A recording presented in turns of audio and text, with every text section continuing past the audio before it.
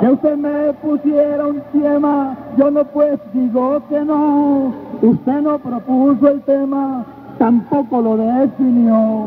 Yo te hablé a vos del Quijote, te lo vuelvo a referir. A juez el berraco de tema no lo has querido seguir. No lo he querido seguir, no me crea tan pendejo. Yo no he leído el Quijote, lo dejo cuando esté viejo. No has leído el Quijote, mejor hacerte adelante.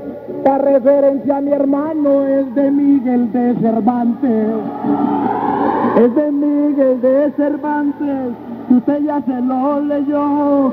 Pues siga con ese tema, a ver qué contesto yo. A ver qué contesto yo, que trova tan prematura. Me da pesar de este Oscar, un profesor sin lectura. Un profesor un profesor sin lectura, soy profesor con emblema, le dije que lo siguiera y ya me cambió el buen tema. Yo no te he cambiado el tema, ese tema es repetido. A vos te hablé del Quijote y dice que no ha leído. Y dice que no he leído, pero me siento berraco. Ábreme pues de ese libro que yo con él me destaco te voy a hablar de ese libro que no me parece un cuento.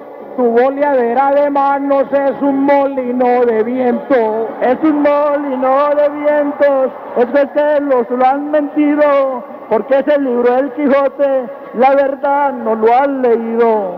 Seguro que lo he leído, tu trova fue prematura, mi hijito es lo más berraco que ha dado la literatura. Que ha dado la literatura y aquí mi trova se expande.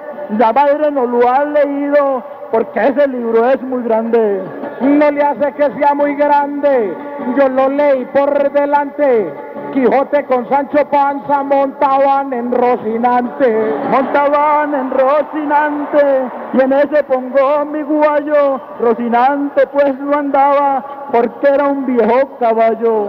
No se ha podido comprar otra vez Antioquia emblema. Como el Quijote no sirve, le doy pa' que ponga el tema. Le doy pa' que ponga el tema.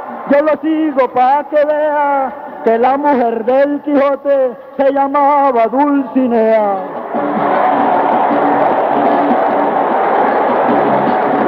Se llamaba Dulcinea. Otra vez voy repitiendo. Milagro que Oscar Ospina como que ella está aprendiendo.